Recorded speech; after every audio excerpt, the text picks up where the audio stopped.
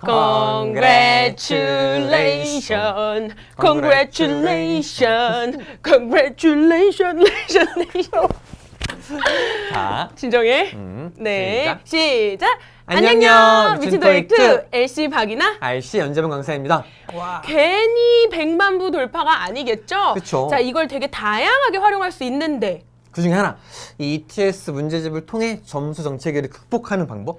극복. 있죠. 있죠. 극복 필요한 언제 쪽 거야? 극복. 진짜 10년도 더된 듯. 아무튼 네 알았어, 어떻게. 이것을 활용하냐면 좋냐면 왜 우리 점수가 어디 가지 못하고 막 어 LC 좀 잘 봤다? 근데 RC가 안 나오네. 반대로 어 RC 좀 터졌어. 근데 또 LC가 조금 떨어졌네. 그래서 총점이 막 어디 못 가. 계속 막 750, 왔다, 750, 왔다, 730, 770 또 떨어져 750 이런 상황에 그럼 이 문제집을 어떻게 활용하면 좋은지.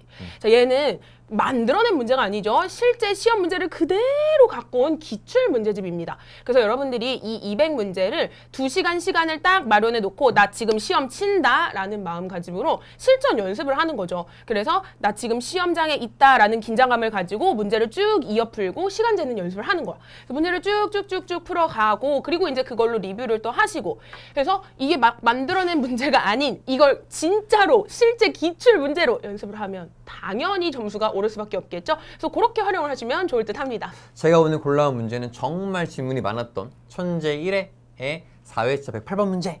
어떤 거였냐면 앞에 online account란 명사가 있고 빈칸 뒤에 Albright Bank란 은행 이름이 나왔어요. 그리고 전치사를 묻는 문제. of야 아니면 with야? 좀 논란이 많았던 문제인데 문제 핵심은 of는 소유잖아. 그쵸? 그 은행의 계좌를 만드는 게 아니라 그 은행에다가 내 계좌를 만드는 거야. 근데 전치사 at은 없었거든. 근데 은행과 함께 거래하다라는 의미로 with가 정답이 될 수 있었던 그런 문제입니다. 딴 데서 못 보죠 이런 문제. 오직 ETS에서만.